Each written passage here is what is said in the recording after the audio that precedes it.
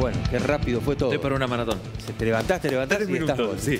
Eh, bueno, eh, buenas noches. Eh, rápidamente, como cada viernes, para cerrar, pero nos parece importante, Héctor, pasar por aquí para hablar de, de algunas cuestiones que ocurrieron ayer. Le voy a pedir al director una placa que habla de cómo está la situación legislativa en nuestro país, de lo que pasó ayer en una histórica sesión por varios motivos en el Senado de la Nación. Ahí lo estamos viendo, las, eh, los frames de, de- de la votación de cada una de las leyes que se debatieron en el Senado de la Nación. Ustedes pueden ver, la primera que está en la parte superior es lo que ocurrió ayer y la aprobación de la boleta única. Buena para el gobierno esa. Sí, esa es la ganada del esa gobierno. es la ganada del gobierno. Ahora, igual atento a esto, Héctor, porque venía con media sanción de diputados. Hay unos cambios, los podemos analizar la semana que viene, porque, por ejemplo, cambió la boleta única como salió de diputados, será modelo cordobés, le dicen en la Cámara de Senadores, Ah, mira. igual a la, a la que tenemos en esta provincia.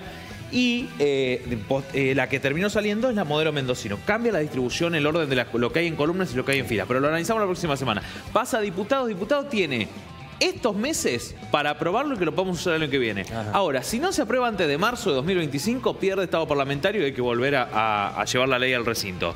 La segunda de las votaciones que vemos ahí en pantalla, bueno, el pleno prácticamente de- del Senado, con dos senadores cordobeses votando a favor, como Alejandra Vigo y como Luis Juez, que incluso tuvo fotos con el, con el gobierno esta semana, a favor de las universidades nacionales y del presupuesto universitario.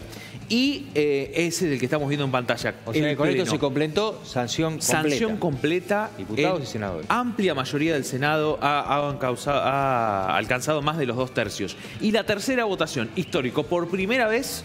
Las cámaras legislativas le rechazaron un DNU, un decreto de necesidad de urgencia, al Poder Ejecutivo. No hay antecedentes de esto. No hay antecedentes de esto. Recordemos que para que estén en vigencia, Sí. eh, tiene que rechazarlo ambas cá- para que no estén en vigencia ambas cámaras. Por ejemplo, el DNU está solo, eh, 7023 está eh, solo eh, por una cámara rechazado, la otra no lo rechazó y todavía está en vigencia. Es la plata que iba para...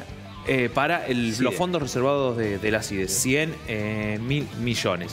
Y Se vamos, rechazó el, el total, digamos. el total, sí, de, de esos fondos porque fueron destinados por un decreto de necesidad de urgencia. Le voy a pedir al, al director un tuit. Y en realidad, en realidad es la respuesta de un tuit del presidente de la Nación de hoy.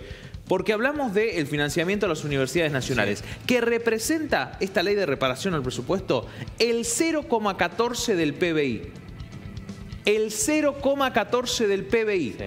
Y el 0,08 es lo que tiene que ver con los sueldos de docentes y no docentes, para que lo tengamos en cuenta. Sí. Hoy, eh, Alejandro Álvarez, hijo, que es el subsecretario de, de Políticas Universitarias, la última palabra sobre el veto la tiene el presidente Javier Milei, como corresponde. Pone en y la red ya le dijo X. sobre el veto, ya, ya está. Y la última le- palabra sobre el Y veto. escribe Javier Milei abajo, veto total en mayúscula. vos. A esto Está como siguió envalentonado el presidente porque le salió bien el veto para con los jubilados. para los jubilados. Hay que Le- ver qué es lo que pasa ahora porque después tiene que volver, recordemos, puede, puede ser rechazado Puede también. ser rechazado también. Le siguió a esto muchos retweets sobre el tema. Y el movimiento universitario de cara a la posibilidad de el un movimiento paro, de universitario nuevo de cara a un paro, y no solo paro, sino movilización. Pero también, ¿qué va a pasar con otros diputados? Ayer en, en Radio Universidad dialogamos con eh, la diputada Browning de Coin, Gabriela Browning de Coin, Sí. la autora del proyecto de jubilaciones del radicalismo. Ella dijo un poco sobre lo que va a hacer mi ley el domingo, que va a ir al Congreso a presentar el presupuesto en cadena nacional. Y un poco también por lo que suele venir, yo no estoy para tanto stand-up. Ya hay sectores opositores que están dejando de ver con buenos ojos al gobierno de, de Javier Milei, que antes lo veían bastante cerca. Veremos qué pasa en las próximas horas. Por ahora el veto no ocurrió, pero lo que parece es que es una realidad. Vamos a seguirlo de cerca y les prometemos la próxima semana en detalle entender qué explica esta ley de financiamiento universitario. Bien, nos vamos, estamos sobre cierre, ya hablábamos del tiempo, viene buen tiempo para mañana y para pasado, que tengan un gran fin de semana, de nuestra parte hasta, hasta el lunes si Dios quiere, ya están informados. Están en UniTV.